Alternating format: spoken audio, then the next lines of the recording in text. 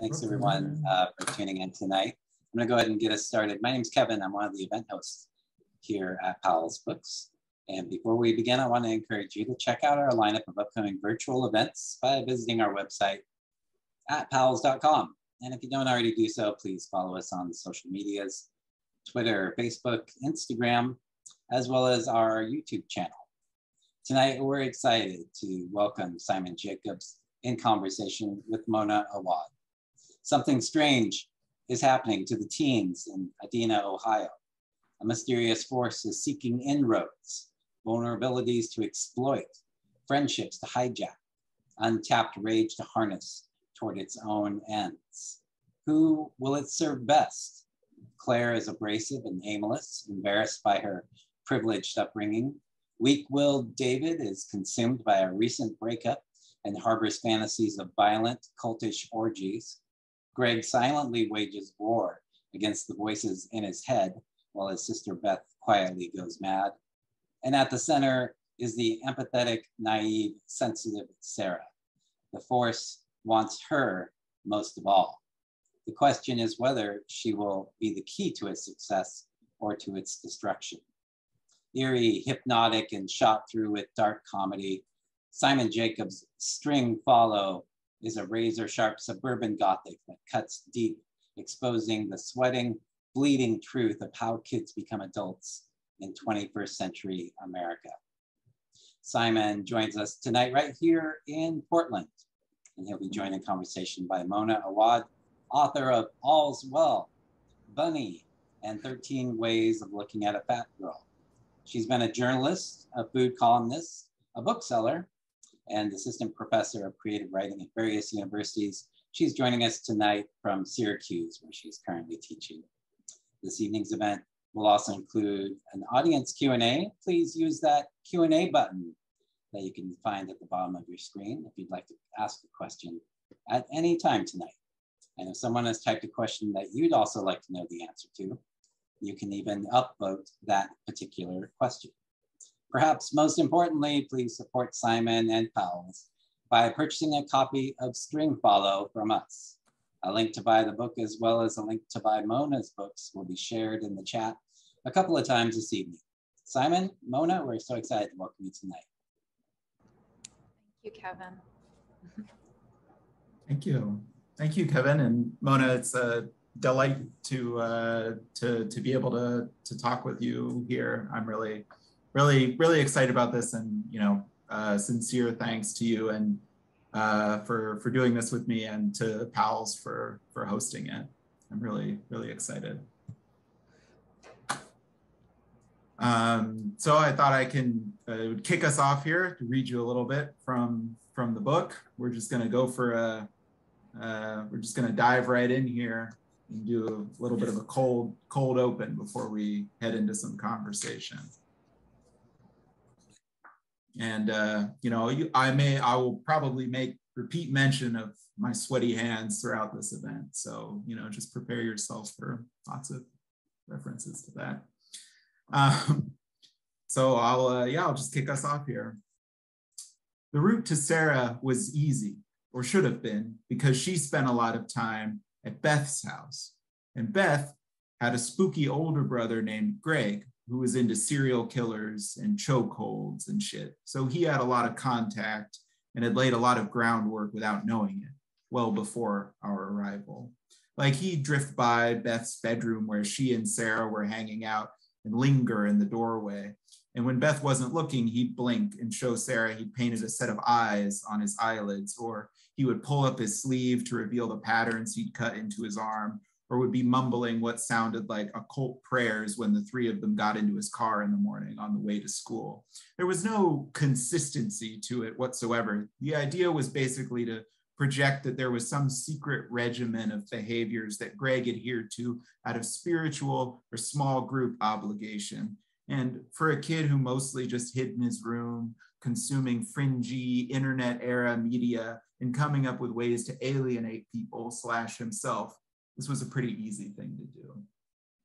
Greg didn't have the context for this at the time, of course. He was just being himself, and his behavior was just that teen routine. But in retrospect, after the fact, These were the shapes it had that we gave it. Sarah took note. It was practically ingrained in her. She was carefree with her attention and love and only had to hear about someone's misfortune or depression before she hurled herself wholeheartedly into it. Her passion and talent was for being there, that's capitalized, until whatever problem became hers as well, impressively hers, so bone deep ran this empathy.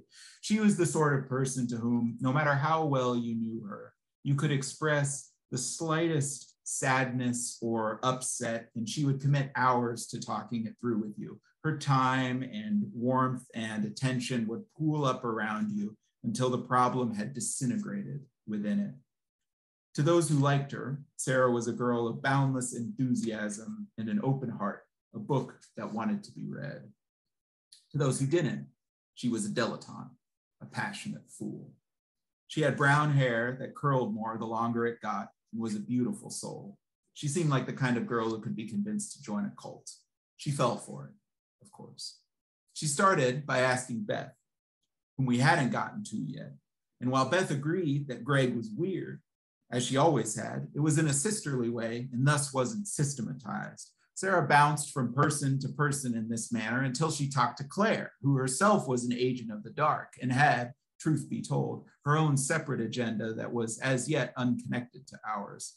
Yeah, Claire said, skimming her eyes over the long line of cars waiting to exit the parking lot. It was second lunch period when sophomores and juniors ate, and they were outside Adena High. The unlikely bond between the two of them had formed over a shared and wicked love of mid 2000s pop punk which Sarah had developed before they were friendly, but after she learned of Claire's interest in pop punk. So she was genuinely passionate about it, but the passion had a larger goal. Anyway, Claire said, Do you know anything about Half Blessed? I think I've heard the name, Sarah said, which was typically how she engaged with Claire's expansive cultural milieu. Claire, at present, had a shaggy Chelsea haircut that was dyed blue, and wore a seasonal leather jacket whose pins changed daily, which lent her the kind of standoffish wisdom of someone who inhabits multiple eras. Had you asked Claire at this point, she wouldn't have called her and Sarah friends exactly, nor would she have admitted that her love for pop punk, a genre she had never experienced in its contemporary moment, was anything but ironic. Is that like a band? Sarah, Sarah asked. I guess it was a band after the fact. Another common answer there was always an obscure band buried somewhere, but it's more of a belief system, Claire said. A belief system? Like some kind of religious thing? Claire shrugged. I mean, I guess, I guess as much as you'd consider iconography religious, she used air quotes. You'd see plenty of inverted crosses and whatnot, but they're not exactly burning churches, not in this decade anyway. She paused and bit her lip seeming to consider. I guess it's more of a society, is how they would put it, with some magical overtones. Basically, teenage Illuminati, but more social, like about ostracizing and status climbing, or like they'll squat your house and slaughter a pig in the living room, blind fires, stuff like that. Basically, it's just a just a clique with uh, but with like secret handshakes and sex pacts and blood rituals to appeal to the high school crowd. Obviously claire had lost sight of her answer to sarah's question long before the words finished leaving her mouth. But the important thing was that she had created a context for sarah's future inquiries. Half blessed was a group thing stringent like a religion but not a religion and disregarding the rest had pegged it with a few terms Sarah could use to propel her investigation further, namely sex pacts and blood rituals, and something called blind fires. Was Greg part of it? Was that what made him act the way he did?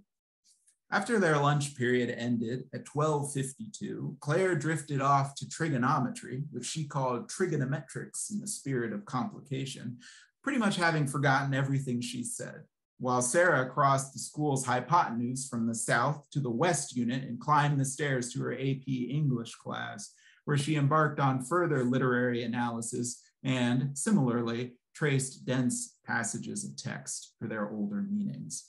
Coincidentally, for different reasons, during that same period, Beth's older brother Greg spread a wide swath of his own blood across the stall door in one of the first floor men's bathrooms. If one was dedicated to the cause, they could have found some geometry in it, or geometricus, that the bathroom, the very stall, was directly one floor below the seat in English where Sarah sat.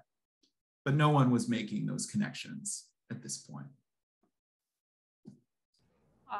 I will leave you with. that was so great. Uh, what a great. It was fun. Yeah, I love that section um, so much. I'm so glad you read it.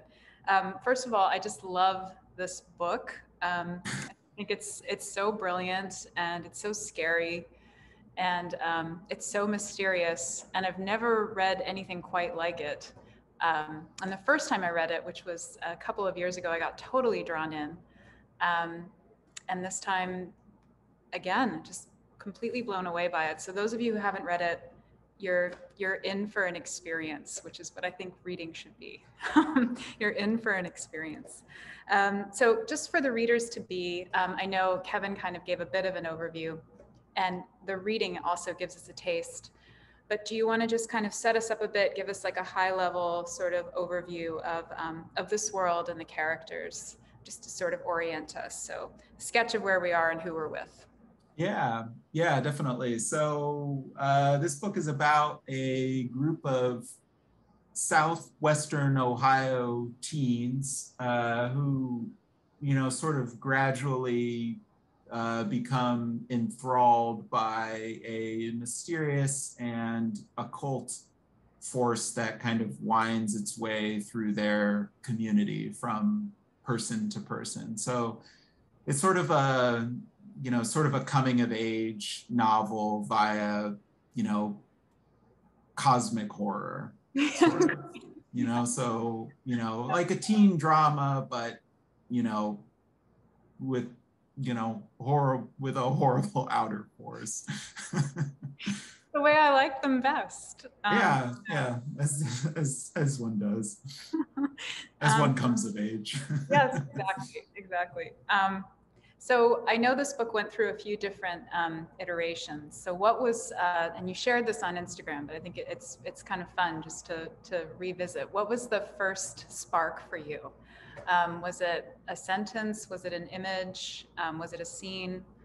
Yeah, that's a that's a. Mm-hmm. Yeah, that's a that's that's a that's a fun fun question. Uh, I think so for me, when I start like a new writing project, for me, it really always starts with like a tone that I that I want to hit. And you know, that or so I get a sentence or something, and that will like inform a tone that I want to, you know, kind of expand into something. So in this case, I think when I the first thing I wrote for this book back in like 2016 uh, the first sentence that came to me was Sarah was the kind of girl who could be convinced to join a cult, which you heard in that opening section from the book. So it, you know, that was the first thing I wrote of the book. That was originally like the very first line.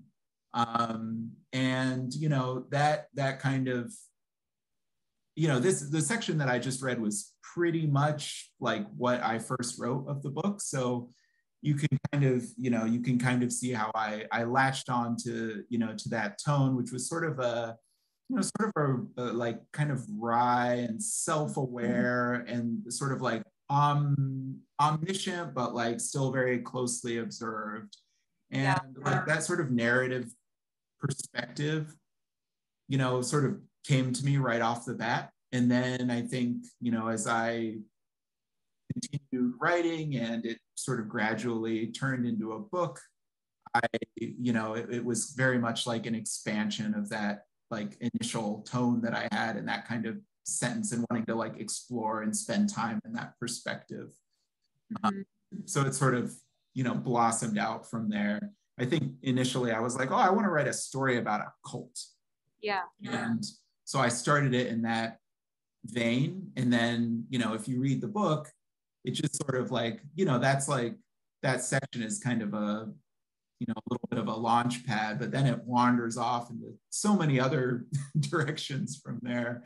Um, so it's funny it's funny to go back and see like how much of like the you know the, the opening pages or the beginning of the book kind of remains you know i don't know has remained in place over these six years of fiddling with it yeah well it's amazing that that section was like was there from the beginning you know yeah it's funny how that happens yeah yeah i love that um because yeah that's something about the tone i think the tone is really one of the very special things about this book.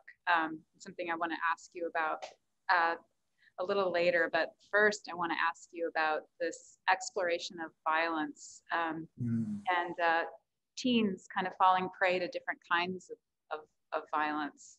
Um, you know, violence within friendship, um, within family, um, mm. romantic relationships, um, and then also just pain, chronic pain, and um, mental illness. And then there's school shootings too, cults, um, elements of, of the punk scene. The book seems interested in where violence comes from and how we end up following one trajectory as opposed mm. to another. And how, how do we inch or how are we inch towards destruction, especially when we're young? You were talking yeah. about coming of age novels. So I'm kind of wondering um, how did a coming of age narrative and the exploration of violence intersect for you?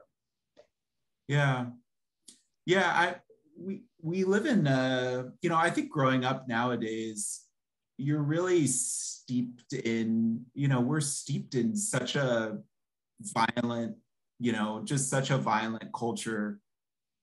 Um, you know that's so uh, pervasive and omnipresent i think in a way that it wasn't even you know when i was a teenager you know 12 15 years ago yeah because there's so much more you know data out there because you're you're interacting you know you know between like social media and like the internet you're kind of you there's always been like you know horrible crimes being committed, you know, all the time, and like, you know, in, rampant institutional and interpersonal violence that you read about and experience on a on a day, you know, that people read about and experience on a daily basis. But now it's just like in your face all the time. You know, it's constantly being filtered to you, you know, through you know twitter or you know anything you're reading online you just there, there's just like you're just pummeled with it relentlessly if you spend you know as you you know if you spend time in the world with the with the media in a way that you know you were a little bit more isolated from you know like when i was when i was growing up that you know that just feels yeah just i you know i keep using the word relentless but i think that that's that's sort of i feel like that's sort of the way that it feels nowadays and so i think in you know that has a disproportionate impact on you when you're a kid yeah. and i think what i wanted to explore in this book was like you know you have like these little micro interactions or these sort of micro you know how these like tiny little interactions between people you know are can be of the same I don't know, can have those those you know those kind of elements of violence to them to the same degree that some massive you know that some massively violent act can. Like it can have the same little you know little impact on you that like turns you in some way or like conditions you to you know that numbs you to subsequent violences or like you know uh, uh, you know uh, uh, kind of teaches you a reaction to something similar like that down the line. So i feel like i was trying to you know write a book that sort of took place in that you know in this in the within this kind of ambient violence of you know 2022 yeah. or 2021 or you know i think the book is technically in 2017 i think is where when it's okay. set.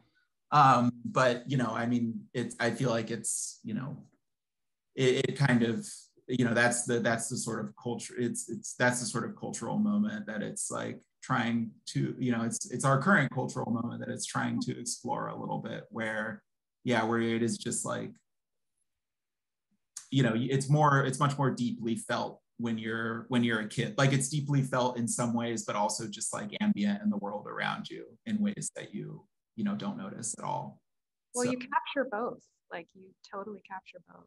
You capture Oh, that awesome. kind of like you know the the those minute subtle moments Mm, um, between people, and then also those grander moments that you were describing.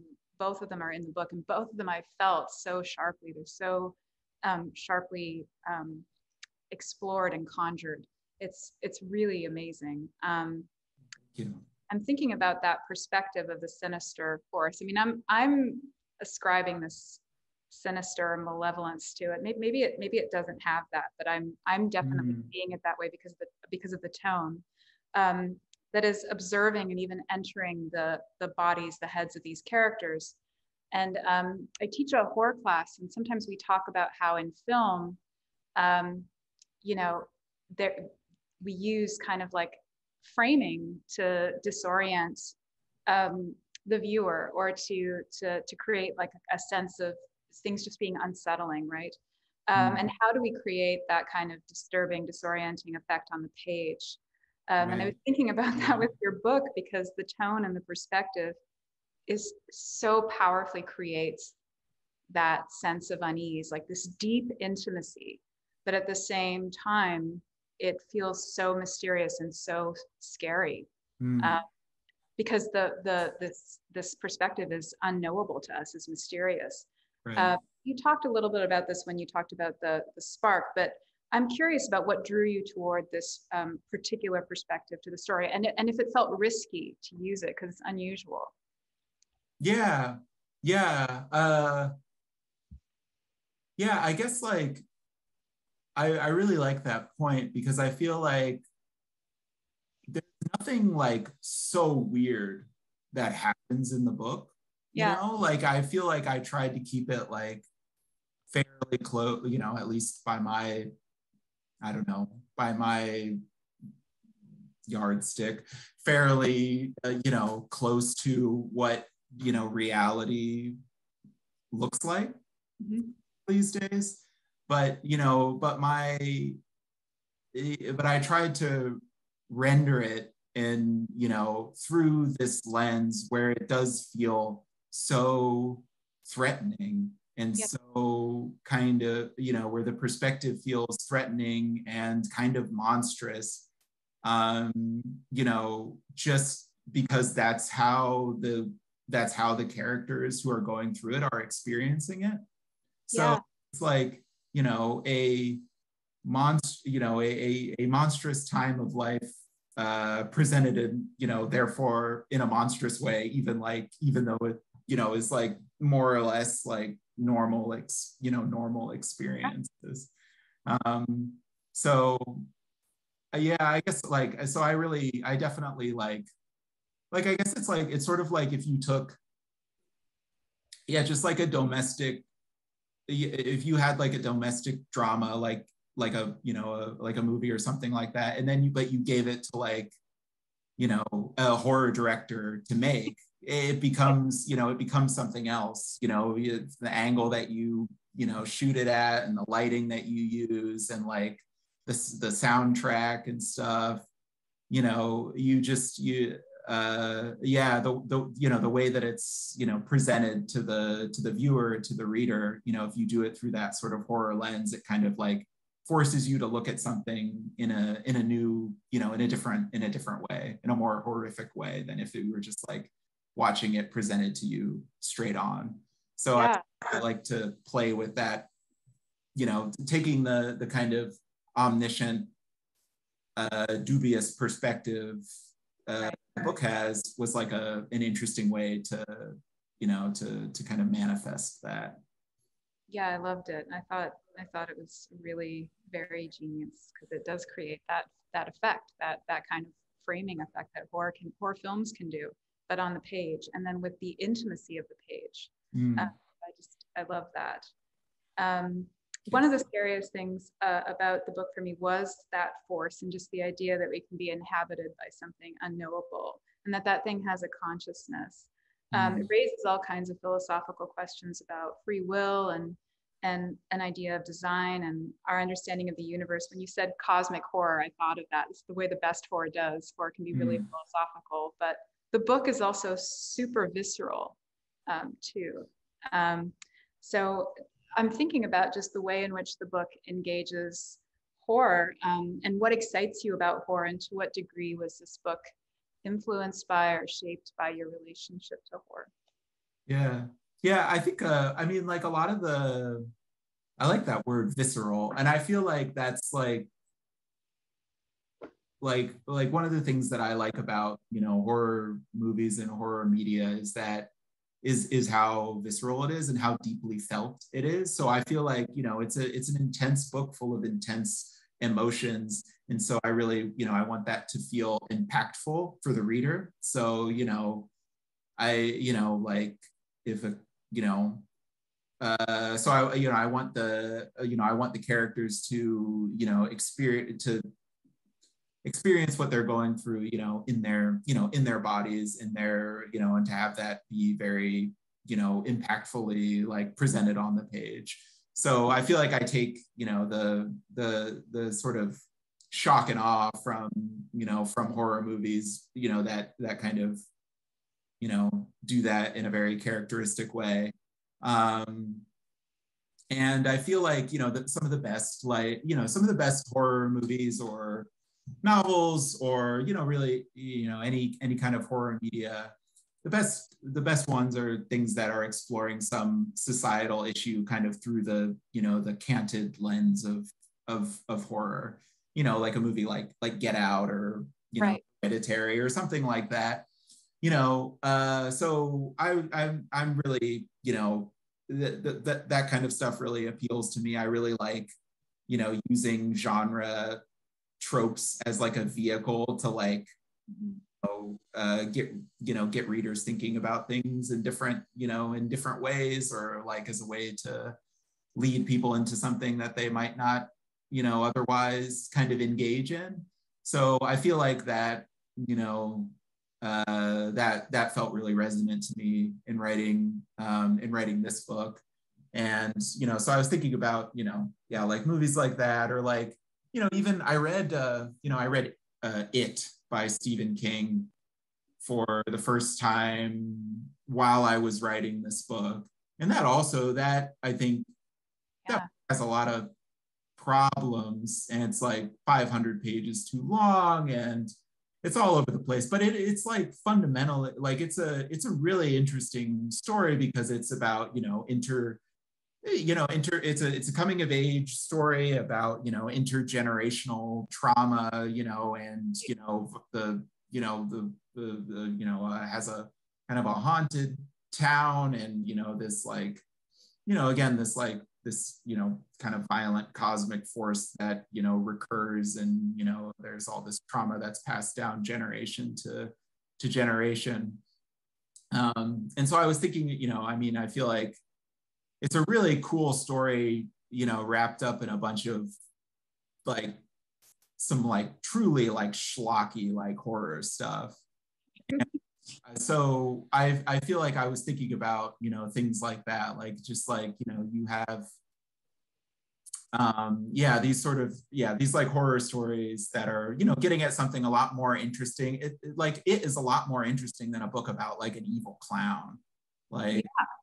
It, it's just like there's a lot more going on you know uh in it uh than that and so that's that's kind of the you know i like to I was I was very inspired by by by stuff like that.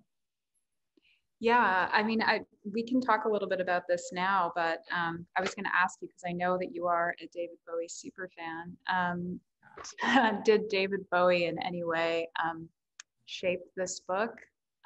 As um, I know we, we, should definitely talk about punk um, after that, but mm. curious about that. Yeah, that's interesting yeah. did David Bowie shift shape this book? I feel like um, you know, always. So da- David Bowie is like my, I would say my like primary artistic influence. And if you like, if I think about any any like cultural thing that I like, mm-hmm. I can trace some lineage of it back to David Bowie because he was like a really, you know, a formative, you know, uh, like musical, you know, figure for me. And then, you know, he part of the reason that he's so cool is that he was so, you know, he was like kind of involved in like every kind of media. You know, he was not only like kind of consistently ahead of the game musically, but he was also like, you know, he was in movies. He was like, you know, drawing from all of these like experimental writers, you know, in his work, uh, you know, uh, visual artists as well, like costuming, theater, like um, really, you know, all over the place. So you can, you know, there's a whole, you know, a, a universe of, you know, Bowie, you know, constellate, you know, uh, cultural constellations that I, you know, I'm, I'm perpetually, you know, picking down right. uh, stars from. So, and, and I feel like his his last album, uh, Blackstar, which came out, you know, two two days before he died. Um, you know, I would say if I had to pick one of, you know, one thing that he created that was an influence to this, it was definitely it was definitely Blackstar because that um, that album, like, it's just full of like, you know, this very cryptic like symbolism and imagery. And, you know, that's really like, you know, it's super, super evocative. It's got great videos. It's got, you know, it's like this weird, like jazzy art rock album that has like also these like very tender ballads on it. There's like a song that's you know, that's in, you know, Clockwork Orange language. And then there's, you know, the lead single is like this 10 minute, you know, weird experimental thing that has like a very, uh, you know, like a real surreal video attached to it. It's just, I really love it as an artistic statement. And I feel like, so I listened to that a lot while I was, uh, you know, while I was writing this book. And, you know, I, so I, I feel like I appreciated, you know, especially I, excuse me. I appreciated the album on so many levels especially as like an artistic statement like his last sort of artistic statement that he made you know yeah. was you know dying. Um so i really like it. You know i feel i think like kind of aesthetically it definitely like had an influence on the book. And like you know my interest in like filling the book with like weird symbols and cryptic noise, some of which is meaningful, some of which is just nonsense, you know, and just, you know, help it having that contribute to the world that the characters occupy where everything you know is both a sign and like not a sign. And like everything has the potential to be like charged with meaning but equally could just be like a random you know a random thing. Um and so i feel like that it definitely like speaks to like the you know the heightened the heightened place of you know where all the characters are operating where you know there's all you know you feel you're surrounded by things that have meaning if only you could reach out and, yeah. and figure out what it is yeah no i can definitely see blackstar in the book and those symbols that you're talking about that i love mm. um, i love all the patterning and all of the symbols mm. yeah that was fun fun to yeah it was it's it's really it's really and and very unsettling like very very frightening too. Um, there's something about design i don't know maybe it's just me that terrifies me. There's just something about the idea that i don't have free will um, yeah. that is so terrifying that i think this book plays with with its with with its language of symbols with with the perspective in so many different ways and i just i love that because it is such a fundamental fear. Mm. um, you know uh, i just think it's great. Oh, um, so yeah let's let's talk because soon i'm going to turn it over to questions. So anybody who has a question please drop it in your uh, the q&a and i'll definitely try to get to it. Um, but i want to ask about punk because punk plays a huge role in the story. One of the characters graham is the lead singer of a, of a punk band called viceroy um, and some of the some of the kids in the story are in the punk scene. So I'm I'm curious, what is it about punk that lent itself to this particular story for you?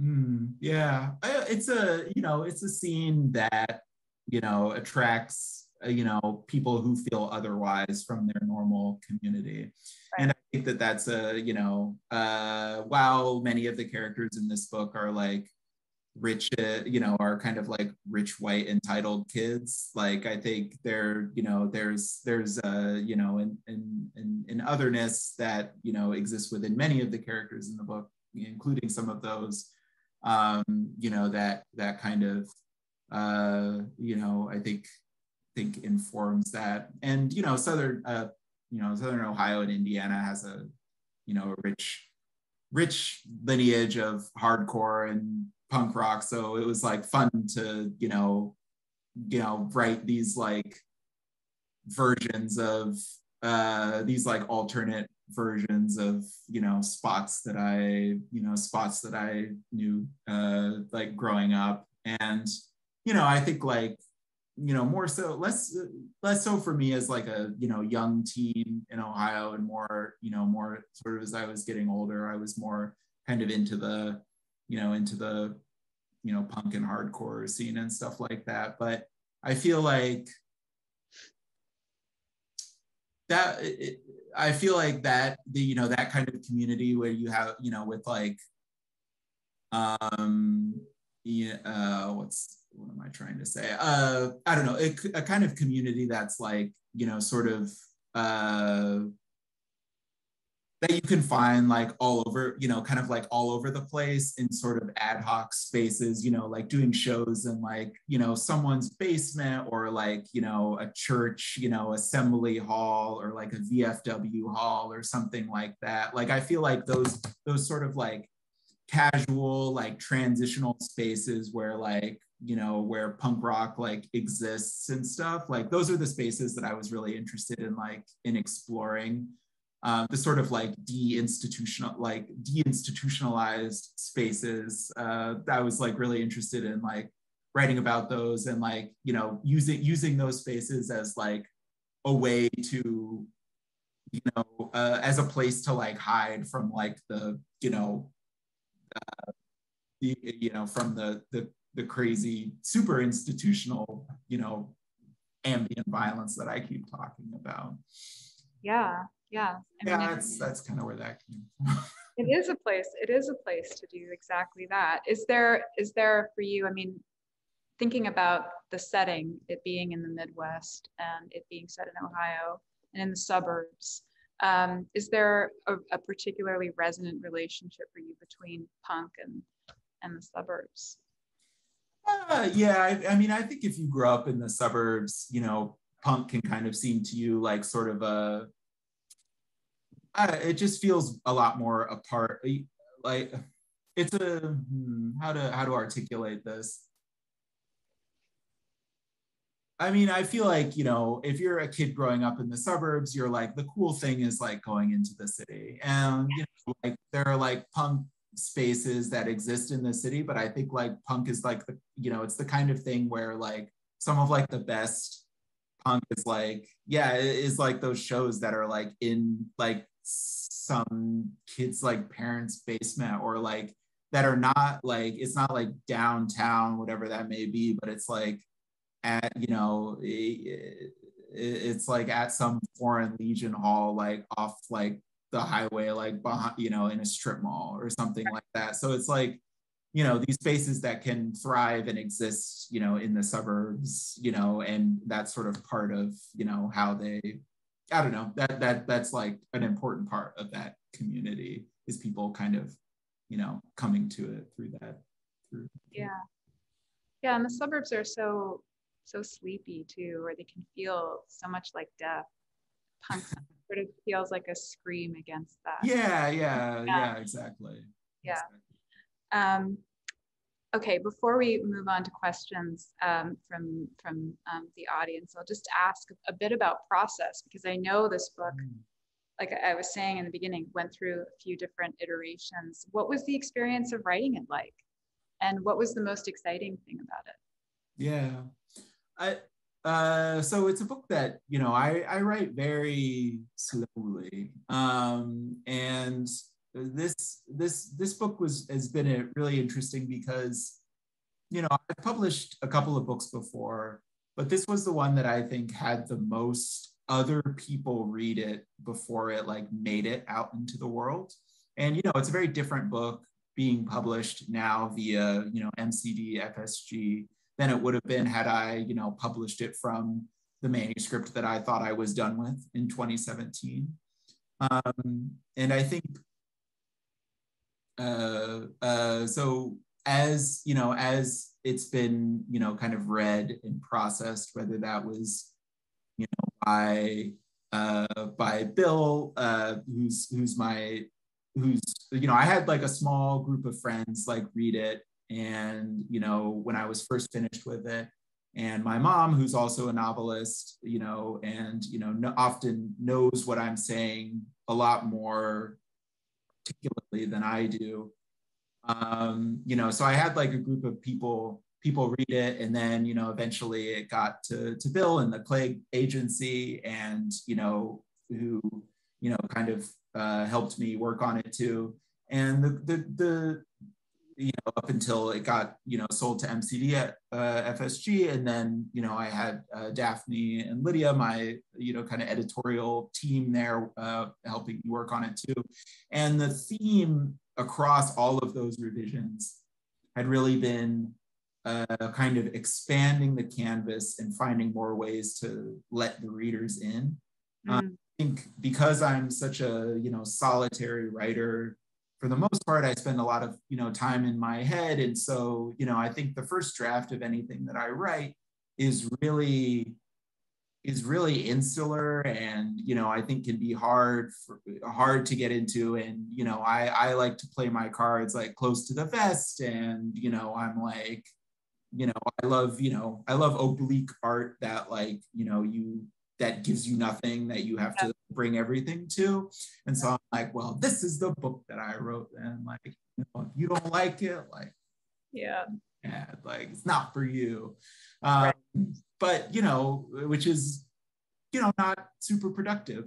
So i think like you know, as I've had other readers, you know, uh, kind of weighing into it, they've helped me kind of crack the book open and turn it from this very like, you know, this sort of relentlessly dark thing, uh, you know, into a much more kind of spacious and wide ranging book that allows like the characters to breathe and it gives like there's you know some levity limited levity and you know so you know it kind of spotlights the you know the kind of hopefulness that i think is there but that which you know was not as visible you know previously or you know in its er, in its earlier form so I feel like, you know, most of the time you talk to a writer and they're like, yeah, you know, my first draft of the book was was 200,000 words. And, you know, by the time it published, it was 80,000 words. You know, they cut 75% right. of it. My experience was like the opposite. Like the first version that I, you know, that I thought I was done with was like 60,000 words. And now the book is 100,000 words. So it's really like, like who does that? Like it's nonsense but that's you know so so that's that's been my experience i've had to like you know kind of open open the book and myself up as i've uh, you know as it's moved through development and that's i think been the single most gratifying part of the process really yeah well it never falters in in terms of voice in terms of the world that it's conjuring it never falters. It's so fully committed to itself. It's it's amazing. You would never Thank think you. that it went through so many um, iterations that you were opening and opening it up because i think you knew it. It's just there. The voice feels so organic. Um, mm-hmm. it's, it's, really wonderful. Um, so i'm going to just go to the um, to the q&a here. Um, okay so we've got four questions. Um, the first is from Anonymous. Hello, Anonymous. Um, in as much as there are universalities to growing up, but also regional idiosyncrasies, um, how much did um, Southwest Ohio inform String Follow? Yeah, I think Southwest Ohio informed it because that was where I grew. That was where I grew up. That's the sort of day-to-day experience that is most, you know, familiar to me and what I end up, I feel, I think, writing about the most. So I was really drawing from my own, uh, from my own experience there, and it was really, you know, it's fun to do because, you know, I can kind of map things that I knew into into other things. So this is like sort of my you know so the so the book is very you know assertively and um you know uh, is very assertively like set in the same kinds of like you know suburbs in the same you know region where I grew up. So that that's a very deep and fundamental part of me. And so that was uh, you know, I think as far as setting, you know, it really it really influenced it and like gave me um, you know, I think a lot of the the joy in the process was in sort of mapping some spaces that were very familiar to me to characters in the book. Um, and I think like the, you know, the the sort of, I don't know, the kinds of kids that I was interested in exploring were, you know, I don't know, like I said, I, I like took, you know, some of the characters are like, you know, a lot, there's a, you know, kind of a, a big, a you know a, a real class kind of range yes. um, to the cast and i think that that was that was really interesting for me to explore and i think like taking it for from the suburban angle made it you know more more interesting for me to to kind of grapple with so. yeah i love i love all the different characters and yeah how fully you inhabit each one and they all feel different from each other which is amazing given how many you have it's it's only more over time yeah. kept adding more people yeah but they're, it's great um, okay so there's a question from martha moody um, um, I think as an adult, a person can forget how shocking um, certain realizations are to young people. The college party, for example, in your book is terrifying but it's just a basic frat party. How did you get back to the feeling of first discovering such things? Yeah, this is a real Simon doesn't like parties. um, yeah, I, I think it, it, it, I feel like that it speaks to one of the points we were talking about. Um, we were talking about earlier, where like, you know, the lens through which you write something really informs the reader's experience of it. So, like, yeah, there's like a frat party in the, you know, in the novel, right you know kids who are going to it don't totally recognize it as such and it you know it but it's like you know it's kind of an alienating and visceral and frightening experience just you know because because it's kind of like rend it's it's kind of rendered in an alien and you know uh, overwhelming overwhelming way because that's how it feels to like the characters at a time at, at the time you know? It's like you know when you're yeah so uh you know i tried to like i don't know yeah like there i feel like again i feel like there's just like there's a lot of like you know a lot of bad things that happen in the book but not like uniquely bad things like just like you know i feel you know routine routine pain there's yeah there's this there's this great album by uh spanish love songs and they uh the first track on it is called routine pain and mm-hmm. I, I, I feel I can think I think about that phrase a lot because I feel like the book the book is like very focused on kind of like yeah on this like sort of routine daily you know kind of experience but it's just like you know sometimes rendering that in a in a way that feels you know, very very alien and overwhelming because that's how it feels sometimes even if you're doing a totally normal yeah. thing like riding the bus yeah, exactly. I, yeah, those bus scenes, I still remember. I actually remember them for the first time I read it, one of the bus scenes. I, yeah. I remembered, and when I came back, I was so glad that it was still there because it was. It's really. I mean, I it brought back memories of writing. Oh, that's cool. Yeah. yeah. yeah. The bus um, scene, and then I add. I think between the time that you read it for the first and the second time, I added another bus scene. You know, I was like, oh, let's get on another bus scene. Yeah. yeah, I, I need I need more than um, okay, from David, um, David Kambu. Do you have a character you feel closest to? Is it a different character than you would have felt closest to as a teen? Well, that's a great question. That's a good, yeah, that is a good question. Yeah. I think my allegiances change. Well, not my allegiances. Like I love all the characters in the book. I mean, some of them are like, you know, more you know, your problematic faves.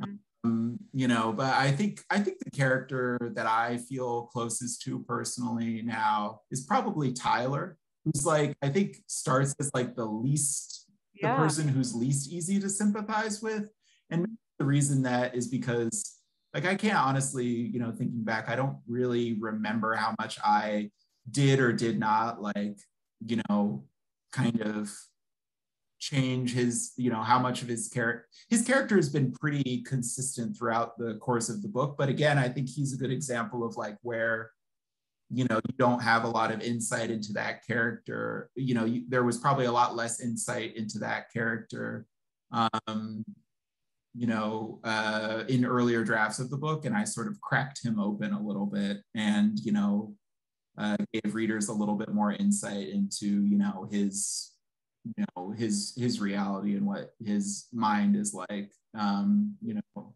And for those who have not read the book tyler is a character who sort of just who just moves in moves in unknown into his friend's basement and sort of takes it takes it over and just yeah. is there for the course of the the novel um you know doing assholey things to his friend it's it's a source of great tension in the book for sure. Um, one of the many sources of tension. Um, I love Greg. I love yeah, Greg. that's that. I, other bus scene that I love Greg. Yeah, that yeah, that's a. I was pleased. Um, um, that's a pandemic scene. I remember right when I wrote that one. I I, I like that scene too. But now I'm like forgetting all the characters that because yeah. I I would change my change my answer, but um, controversial answer. But, well, okay. It's your book. Um, so Graham, um, Graham um, Nissen, I'm sorry if I'm mispronouncing your name. Um, your early writing was focused on shorter stories and String Follow is about 500 pages. Um, did you start off intending to write a longer novel? And um, if how does your early short story writing factor into String Follow? Well, Graham, uh, you know, I think 500 pages, like it's a little it's a little much. It's not 500 pages sir. Um you know it's 400 pages. Um but i think that that's a fun that's a fun question because when i start writing something i don't i never really know what shape it's ultimately going to take. When i started string follow i was like i'm going to write you know i said this earlier but i was like i'm going to write a story about a cult. And so I thought it was going to be a short story. And then as I just kind of kept writing it, I was like, okay, this will be maybe a novella you know that's the thing people right? And you know then it just kept you know kind of going and going until it wound down. And then i was like okay it was 60000 words. I guess it's like technically a novel. And then it's only gotten longer over time. So you know i think i've never you know i haven't i've written you know i i started mostly writing short you know short fiction. And then even my first novel i think started life as like a short you know a short story that i then that again had a tone that I was really into and wanted to play with more. Um, so uh, yeah, so for me, it really it really has just varied over you know over time and kind of you know I, I feel it out with each with each project. So yeah, it's the only way that you can do it really. Um, yeah. especially if your way in is is tone, you know, mm. the yeah. tone to tell you the shape of the book, I think. Yeah, yeah. What's your what's your experience, Mona? Have you do you go in with a novel in in mind or a, a format in mind? Um, no, I think I think it's similar to to what you were describing. It's more like um, some kind of obsession or fixation. Um, so like mm-hmm. just to what you're talking about. Um, but that that obsession or fixation will will spark a tone will spark a voice. And then mm-hmm. that's what I, that's what i'll follow. Um, so yeah usually just something that consumes me.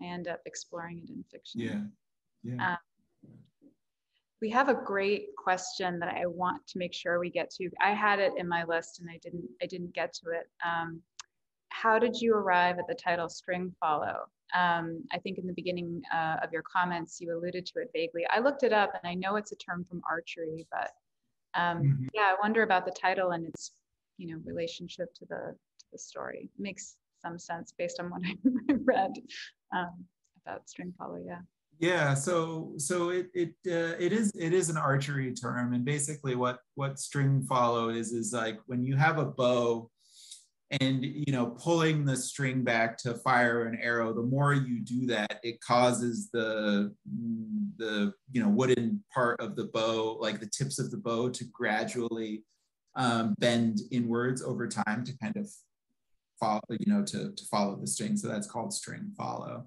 So, uh, so the term like originates from there, uh, but I feel like it also, you know, I think about uh, it also conjures to me kind of the the image of like a bunch of people kind of following each other along a string, you know, kind of being guided by like a string in the dark, sort of, you know, like uh, you know, kind of following each other successively, like along a along like a string. And uh, so yeah, so those those were a couple of the the inspirations for the for the title. Because I think like you know, string follow, like as a you know as an archery concept, it's like you know doing the same thing over and over and over again. Eventually, it warps the instrument. So, right.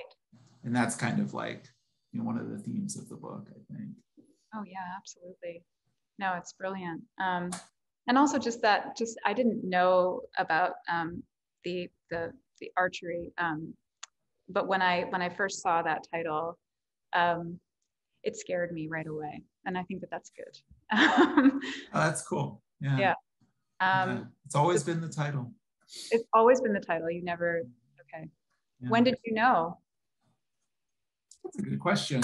I would have to consult my notebooks to see when I, because like when I'm writing it, I like will put, you know, the the name of, you know, in the corner of the page, so I know like what project I'm working on in that given page. And so I, when I started the book, or when I started it, it was just, you know, cult, and I was, you know, I was writing on my little cult story, and eventually that changed to, you know, to SF. Uh, but I don't know. I don't know at what point that did that. But I think it must have been kind of early on because I feel like I've had, you know, and I, I had like an idea of what I wanted to do pretty early into the process. So I would say at the time that I decided it was going to be a novel, I probably settled on that on that name. Yeah. It's, it's it kind of tells you what it wants to be called, I think. Yeah, yeah. Um, yeah for sure. Okay, we have two more questions. Um, let's yeah. uh, i don't know how much time we have left but um, i'll ask you this one because i think it's a bit shorter um, what are you writing now hmm.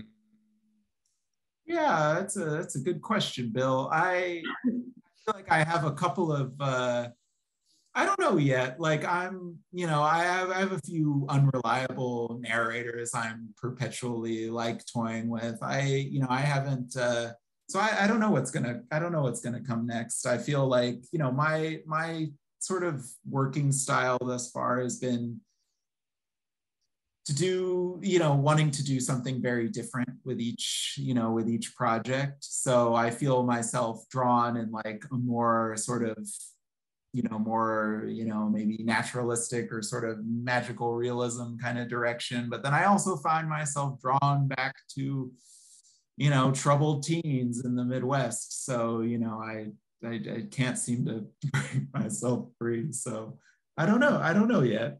Hmm. Have to see. Maybe you need both. Maybe. yeah, I need both. Yeah. I, that's, that's story of my life is like being like, oh, I have these three disparate ideas, but what if I tie them all together? well, that's, that's, that's, that's the, that's the genius, right? Bringing them all, bringing yeah i guess uh, you know a book within a book within a book. Inevitably i'll do that. Like like yeah. something like that i feel like it's toying with me. I love a i love a meta narrative yeah. And i think i feel like you do too. I do. From your work. I i picked up uh, palaces so i'm excited to read that too. Oh nice. Yeah, yeah that's a fun one. Yeah. I, yeah I that that's an, another it's like that's that's like a very transparent you know tonal experiment where i'm like oh second person like what fun. And just really double down on that one. Well thank you both so much for tonight's talk simon. This is his book here string follow signed copies yeah simon will have our warehouse signed a bunch of copies for us. So if you order the book, uh, I'm going to put the link in the chat right now. Click on that link and get a signed copy of Simon's book. Mona's got a few books. This is her newest one, All's Well. It's amazing. And you should buy that one instead of mine. That's right. That's right. And also, uh, this event is going to be showing up on our YouTube channel if you're not familiar with that. I just put the link in the chat for that as well. Click on that. You can check out all of our uh, events that we've been doing on Zoom. Um, and the this event will probably be showing up there sometime tomorrow. So if you have friends that missed it and want to share it with them, uh, please do. Um, uh, once again, Simon and Mona, everyone at home as well, thanks a lot for tuning in and have a great night. And thank you, thank you all for joining, and thank you, thank you so much, Mona, for doing this with me. Uh, this was so much fun. And Kevin and Tina, thank you for hosting this via Powell's. Uh, it's really exciting to, yeah, it's exciting to be able to to do this. So I'm really excited to have the book into the world, and thank you for making it feel so special. Thank you. Thank you. Yeah, it was such a pleasure. Uh, I loved it. Everybody go buy it. Um, thank you. Thank you so much, Powell's, for hosting us. Good night. Good night. Thanks, everyone.